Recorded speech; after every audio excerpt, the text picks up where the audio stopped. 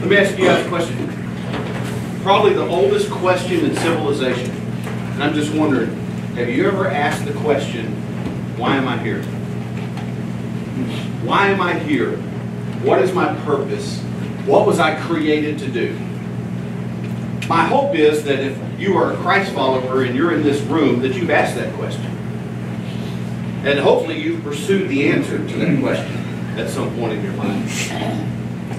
The truth is that man has always been a seeker of our purpose in this world. But why? Why do we care so much?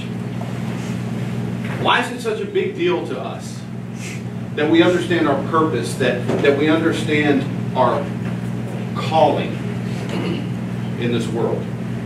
Well, I think the question for Christ followers, the answer for Christ followers, is because we know we are created for a purpose. That it's not an accident, that it's not happenstance, that it's not a Big Bang theory, that God created us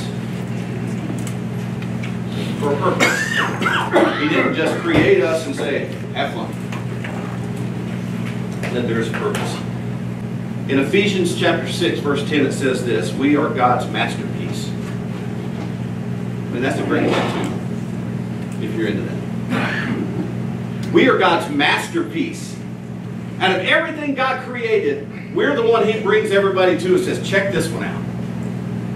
This is the one I'm most proud of. We are His masterpiece. He created us anew in Christ Jesus so we can do the good things He planned for us long ago. He created us for a purpose, for the things He created us for, long before we ever realized what it was.